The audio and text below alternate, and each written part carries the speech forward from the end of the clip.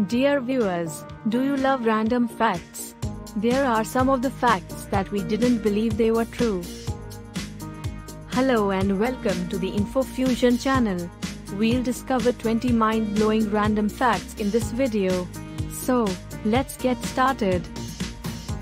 Your brain uses 10 watts of energy to think and does not feel pain. When you're cold, your fingernails grow faster. Some fish cough. Really? Cats are not able to taste anything that is sweet. Hippopotamus milk is pink. The average person spends two weeks of their life waiting at traffic lights. The snow on Venus is metal. A tsunami can travel as fast as a jet plane. Don't like mosquitoes? Get a bat.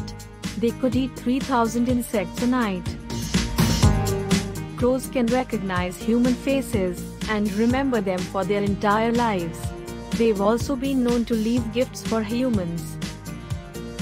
There is only one country on earth without mosquitoes, Iceland. Its low temperatures make it impossible for the pest to breed. Ketchup was once sold as medicine to treat diarrhea and indigestion. The treatment did not, in fact, work.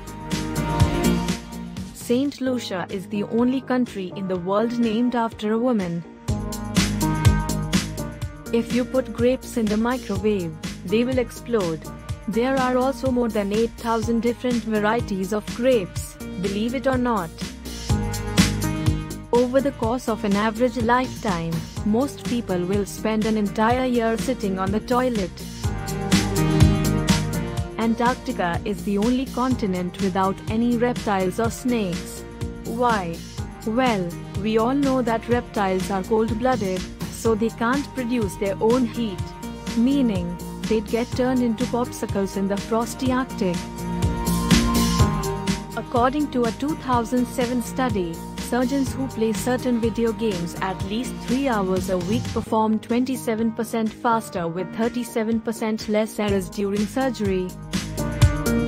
Australia is home to almost 100 species of venomous snakes. However, only one fatal snake bite incident is recorded per year.